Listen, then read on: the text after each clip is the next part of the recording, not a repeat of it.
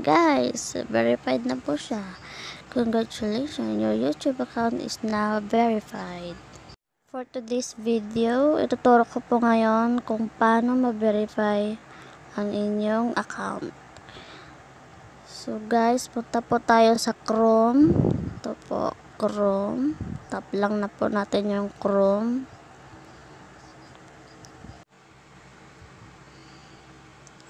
So ngayon, tatay po natin dito yung YouTube.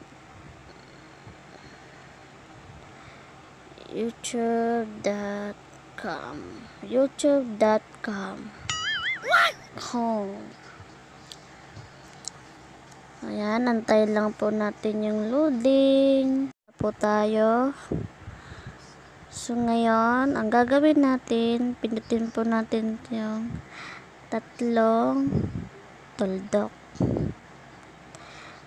Tapos hanapin na po natin yung tap natin yung desktop site desktop site so yan naka desktop na siya. Antayin lang po natin ang turtlenet.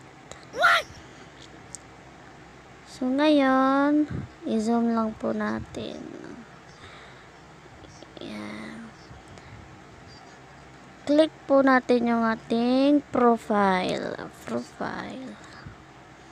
So antay na naman natin yung turtlenet so ngayon tap po natin yung youtube studio.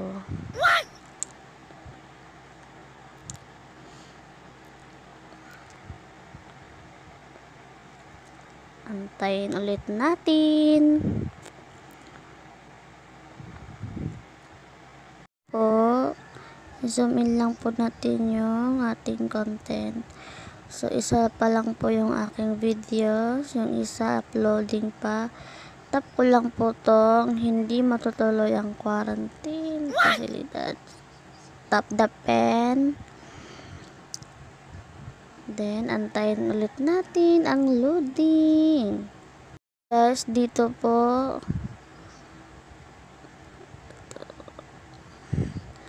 So, ayan po yung thumbnail. Dapat may thumbnail ka kasi hindi ka verify kung wala ka pong thumbnail. So, tap lang po natin yung upload. Upload thumbnail. Thumbnail. Thumbnail.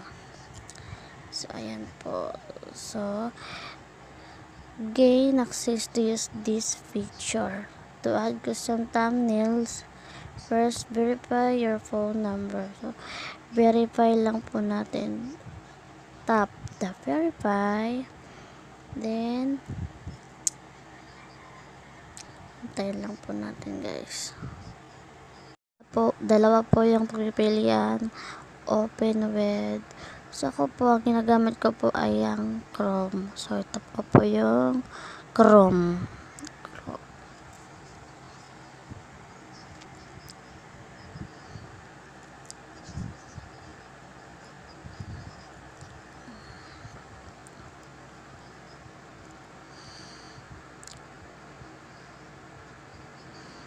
So, ayan. So, ito, Philippines. How should we deliver the verification code to you? So, ako po, tap ko po yung text me the verification code. Which language should be used to send the verification code? English. What is your phone number? So, guys, tap lang.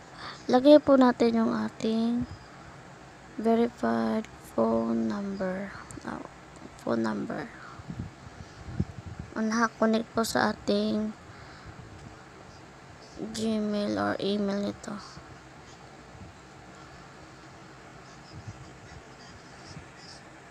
Takpan ko lang po yan. So submit. Pack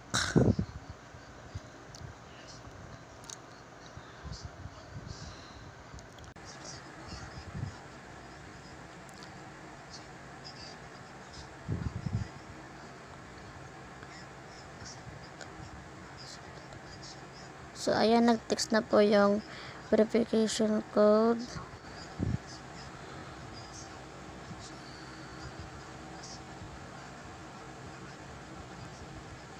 So, submit.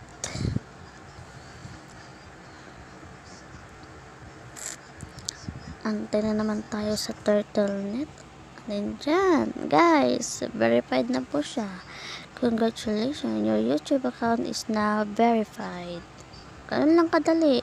So, yung hindi pa po nakakapag-subscribe sa channel ko, please subscribe na po and click or hit the notification bell para updated po kayo sa susunod kong video mga tutorials about tutorials or other vlogs.